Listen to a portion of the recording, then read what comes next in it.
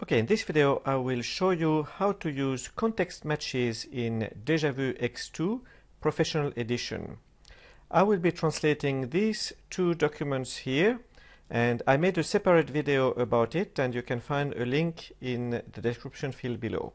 But let's move to Déjà Vu and uh, this is the latest version as per January 2013 so this is version uh, 8.0.611 in Déjà Vu, context matches are called guaranteed matches and you have to enable the feature under Tools, Options, General and here you have to tick this setting here, Enable Guaranteed Matches. Okay, now I will be creating a new project. I will call it Google ENFR. I will be translating from English into to French. I will add a local TM. I will also call it Google ENFR. Next, I won't be using any term base. I won't be using machine translation.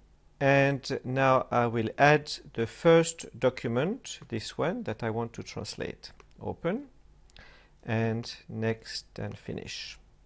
Okay, so I will quickly translate it. And now all nine segments have been translated and sent to the TM. So what I will do next, I will add uh, the second document, which is this one, and I will import it.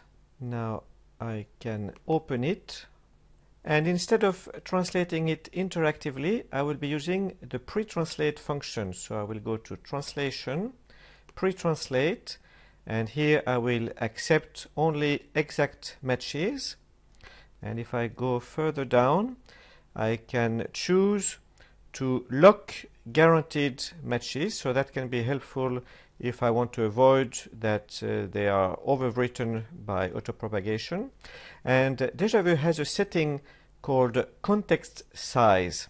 And context size basically is what constitutes the context so here it's 3, which means that it's uh, the actual segment you want to translate and the previous segment and the next segment.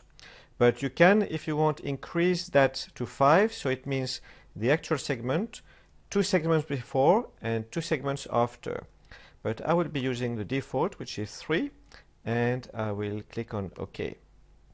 Now Déjà Vu is pre-translating, and uh, out of the nine segments, there are three segments with a guaranteed exact match and five segments with a unique exact match, so a normal 100% match. Let's have a look.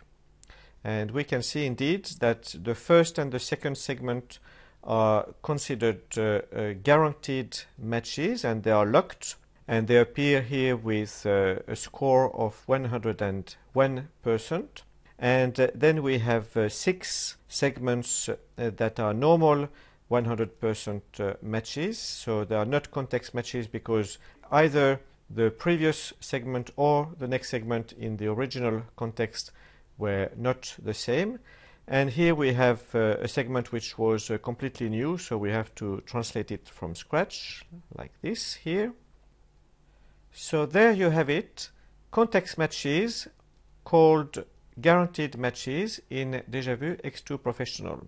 And one important thing to notice is that uh, uh, Déjà Vu has a stricter definition of uh, context matches, for instance, compared to SDL Trados Studio, uh, which only considers uh, the previous segment, not the next segment.